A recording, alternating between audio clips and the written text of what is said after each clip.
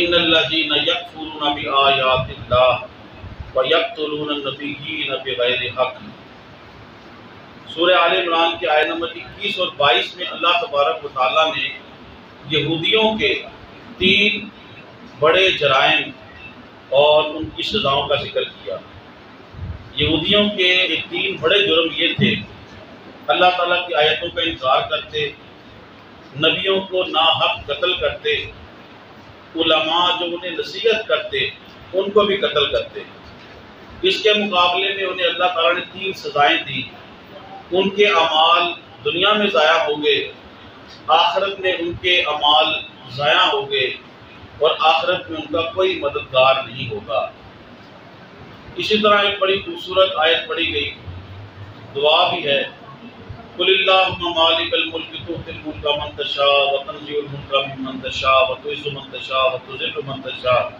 सूर्य आल इमरान की आयत नंबर छब्बीस। इसका शान नजूल ये है, फतेह मक्का के मौके पर हजूर सल्लल्लाहु अलैहि वसल्लम ने अपनी उम्मत से रूम और फारस की सल्तनतों का वादा किया। तो यहूदियों और मुनाफिकों ने कहा कहा रूम और फारस के मुल्क और कहा मोहम्मद वसल्लम और इनके मानने वाले। उस वक्त रूम और फारस ये सुपर पावर थी। जैसे कि आज समझ लें, अमेरिका है, ताकतवर मुल्क है। तो रूम और फारस, ये उस वक्त सुपर पावर थी। तब हजूर ने ये पेशन गोई की कि करीब रूम और फारस भी मगलूब हो जाएँगे, मुसलमानों को फतह होगी।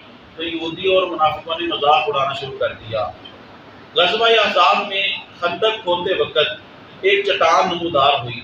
सहाबा कराम ने बड़ी कोशिश की, मगर टूटी नहीं। तो हजूर की बारगाह में अर्ज़ किया गया। हजूर वसल्लम ने जब उसके ऊपर ज़रब लगाई तो उसके दो टुकड़े हो गए। हजूर ने उस वक्त भी इर्शाद फरमाया कि मुझे सना रूम के महलदार नज़र आए। और मेरी उम्मत को इन मुल्कों पर काबिज होने की खुशखबरी दी गई है। चुनाचे उस वक्त जायद जब मुनाफिकों ने मज़ाक उड़ाया कि ये कह रहे कि रूम और फारस सल्तनत करेंगे ये उसको शिकस्त देंगे। रूम और फारस को सना को तो अल्लाह ने फरमाया, महबूब ने फरमा दे। अल्लाह ताला जिसे चाहता है बादशाही देता है, जिसे चाहता है अल्लाह ताला इज़्ज़त देता है, जिसे चाहता है जिल्लत देता है। तो ये उसकी मर्ज़ी है। तो जिसको चाहे अल्लाह ताला इज़्ज़त दे दे, ये उसकी कुदरत कामला है। सूर्य लेकिन इंसान को हमेशा आजिज रहना चाहिए। इसी तरह आज जो नमाज़ तरावी में तलावत की गई, एक आयत ये पढ़ी गई फ़ी ही आयात बैनात मकाम इब्राहीम, के मकाम इब्राहिम इसमें निशानियाँ हैं। मकाम इब्राहिम क्या है? अल्लाह ताला रमज़ान शरीफ के मुकदस और मकबूलियत के लम्हात में अल्लाह ताला ने बार बार मकाम इब्राहीम पे हाजिर होना नसीब फरमाए आमीन। तो मकाम इब्राहीम, इस पे हजूर हज़रत इब्राहीम सलाम के कदम मुबारक लगे हुए हैं। जब आप बैतुल्ला को तमीर कर रहे थे तो जू जू वो ऊँचा होता था तो आप मकाम इब्राहिम उस पत्थर के ऊपर आप खड़े थे तो कुदरत के साथ अल्लाह की कुदरत से मौज सतर वो भी ऊपर हो जाता। तो उसके ऊपर हज़रत इब्राहिम सलाम के कदम मुबारक का नक्श है। तो आज भी बल्कि एक जगह अल्लाह पाक ने फरमाया कि मकाम इब्राहिम को मुसल्ला बनाओ, यानी इसके ऊपर तुम दो रकम नफल नमाज़ पढ़ो उसके करीब। तो अल्लाह ताला ने जो अल्लाह के अम्बिया हैं या नेक बंदे हैं, उनसे ताल्लुक़ रखने वाली चीज़ को भी अल्लाह तबारक ताला ने अजमत वाला बना दिया है। इसी तरह वाजिबुल इतराम आज सूर्य आल इमरान की आयत नंबर अट्ठाईस में अल्लाह ताला ने ईमान वालों को काफिरों से दोस्ती करने से मना फरमाया। हाँ अगर बतौर बर्तरी के दोस्ती हो तो जायज़ है। शोबल ईमान के अंदर रिवायत है कि अल्लाह ताला ने हज़रत यूशा बिन नून की तरफ़ वही की कि मैं तुम्हारी कौम में से एक लाख चालीस हज़ार नेक बंदों को और साठ हज़ार बदकारों को हलाक करने वाला हूँ। हज़रत यूशा ने अर्ज़ किया है मेरे रब बदकारों को तो तू हलाक करेगा, तेरे नाफरमान हैं। तो जो अच्छे लोग हैं, उनको भी तू हलाक कर रहा है इनके साथ। अल्लाह ताला ने फरमाया, वो नेकोकार बदकारों के पास जाते हैं, उनके साथ खाते पीते हैं। अल्लाह ताला के गज़ब की वजह से उन पर भी गज़ब होगा।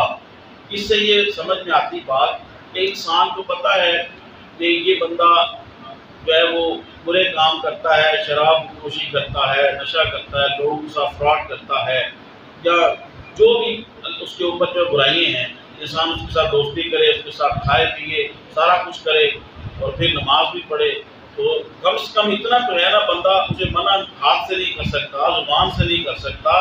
तो अदना ईमान ये है कि उससे इंसान दूर रहे, लेकिन इंसान सारे मज़े उसके साथ ले खाए, पिए और उसके हराम के सारे कामों के अंदर हिस्सा ले तो फिर तो अजाब लाही के अंदर वो भी उसके अंदर शामिल होंगे।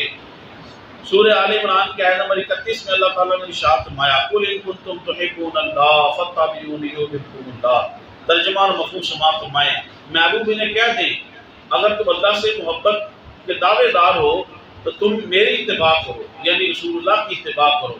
तो जब तुम रसूलुल्लाह की इत्तेबा करोगे, पैरवी करोगे तो फिर अल्लाह तुमसे प्यार करेगा। तो वाजिब इसी तरह हज़रत मरियम सलाम आपकी शादी नहीं हुई थी आप कवारी थी तो हज़रत जब्राईल सलाम तशरीफ़ लाए। फरमाया कि मैं तुम्हें बशारत देता हूँ, अल्लाह की तरफ़ से हज़रत ईसा सलाम की एक साफ़ सुथरे बेटे की मैं तुम्हें बशारत देता हूँ। तो हज़रत मरियम सलाम ने कहा कि मुझे तो किसी बशर ने छुआ नहीं। अल्लाह पाक ने फरमाया कि अल्लाह की कुदरत ऐसी ही है, चुनाचे हज़रत मरियम सलाम कवारी थी बगैर बाप के इनके हाँ जो है, वो हज़रत ईसीम की विलादत होती है, ये अल्लाह की कुदरत हैं। तो फिर फरमाया, वही कल्ला सफ़िल महदी का हला कि ये बंगूड़े के अंदर कलाम करेगा। तो जब आप तशरीफ़ आई तो लोगों ने कहा कि मरियम कहाँ से लाई हो? तो आप खामोश रहें था खामोश रहें। तो फिर बंगूड़े से हज़रत ईसा आप बोले कि मैं अल्लाह का नबी हूँ। अल्लाह ने मुझे किताब भी दी है और अल्लाह ने मुझे नबूबत भी अता की है। इसी तरह वाजिब तमाम आज नमाज़ तरावी के अंदर सूर्य आल इमरान की आयत नंबर एक सौ चौंतीस में अल्लाह ताला ने शाह फरमाया, मफहूम समाप्त फरमाए। वो जो लोगों की कताओं को मुआफ़ करने वाले हैं, गुस्सा पीने वाले हैं एहसान करने वाले हैं, अल्लाह इनसे मोहब्बत करता है। असल में अल्लाह ताला ने नेक लोगों की निशानियाँ बताई हैं। अल्लाह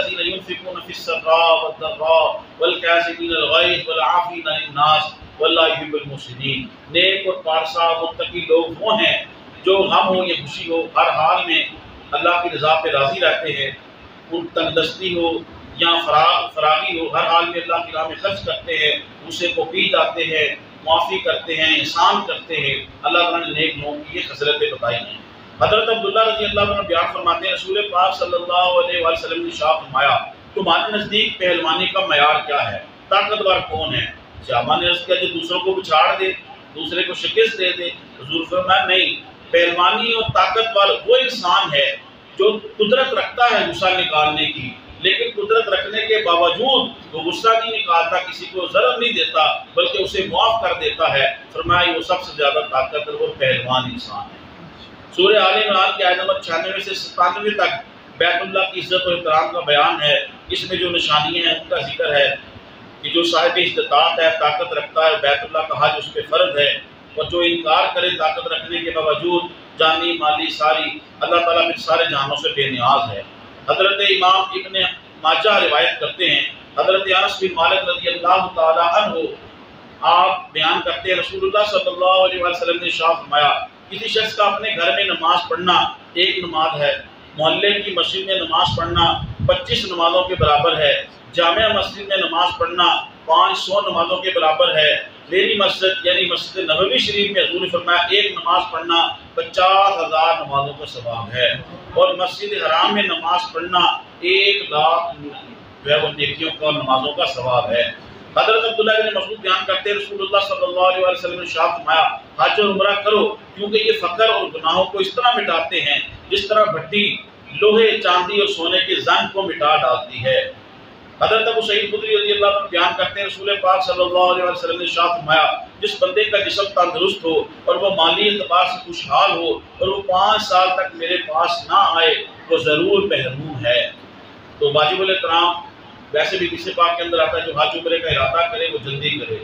तो जिसे अल्लाह पाक ने तफीक दी हो, उसे कोशिश करनी चाहिए हज उम्र वो फ़र्ज़ है हज उसके ऊपर वो करे और जिसे अल्लाह ने तफीक दी है, वो हजूर की बारगाह में बार बार हाजिर हो। अल्लाह ताला इन मुकदस नमाज़ के सदके बीमारों को शफात फरमाए और मुसबिब असबाब हरमैन शरीफैन की बार बार बाद हाजिर अल्लाहुम्मा सल्लि अला सय्यिदिना व मौलाना मुहम्मदिन